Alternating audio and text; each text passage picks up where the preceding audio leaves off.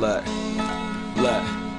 See, I'm a Filipino kid who grew up with the Hispanics. Hung around the block, started talking with the accent. My shirt got bigger, my pants started sagging. I remember mama used to blame it on my. What's good YouTube? Back again with another video. This is a Jordan sneaker review.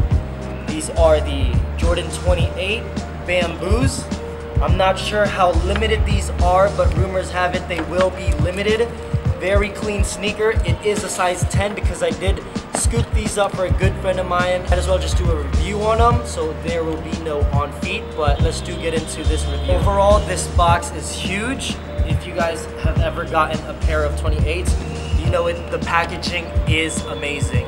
The retail on these are very expensive. Right off the bat, you see the bamboo pull-out box. If you pull this out, you get more of that whole bamboo. Here you have the box for the bamboos. Very, very dope. How dope would it be if these were actually made out of bamboo? But nevertheless, you have your black Jumpman right there. And as you pull these out, what I love about the 28s, as I've said before in my Red Elephant 28, I love how they do come with a very, with individual dust bags.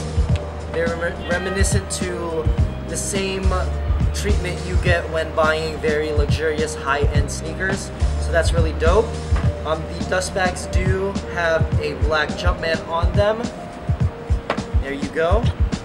And let's pull these out out of the dust bag. Very, very clean sneaker. I love the all white. It reminds me of the white Power Ranger. You know, a lot of people are really iffy about the 28s just because of the silhouette alone and how high they are. But, you know, I believe these are more of a performance pair of sneakers. It's more for basketball than, you know, to wear outside, you know, as casual. But let me pull this down. You have your white zipper. Overall shoe is white. And your inside mesh is all black with your black tongue, white Jordan, Jordan logo, black laces. You know, you guys know what it is. Take these out. Um, the inner is of that black mesh as well with your black insole and a white Jumpman logo. Um, this is what the shoe looks like when it's folded down. The zipper comes with that white thing. I'm not sure what kind of braid that is. Um, if we lift these up, the whole shoe is, the whole upper is mainly perforated up to the ankle area. Um, what makes the shoe pop or what makes the shoe overall will probably be that bamboo plate on the heel embossed in that Jordan logo. You have that as well right here, very clean. And your midsole is of that white with a hint of carbon fiber.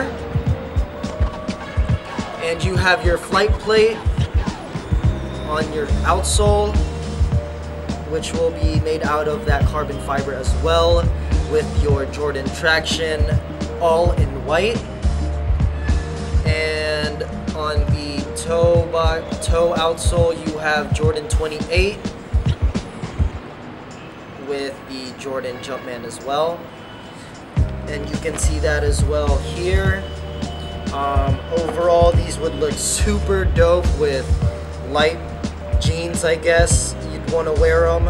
Um, I can't put these on since they are a size 8, that a size 10 that I picked up for my buddy.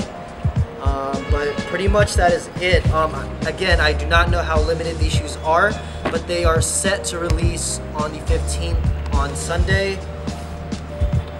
But let me know what you guys think about these. Let me know how you feel about the Jordan 28s, if you guys are to scoop these up, what's your game plan, and if you will wear these casually, I don't know, let me know. These are real dope. Again, I cannot do an on feet since they are not mine and not my size. So Again, if you guys enjoy this video, do hit that thumbs up. If you haven't already, please do subscribe. Until the next video, I will catch you guys on the next review.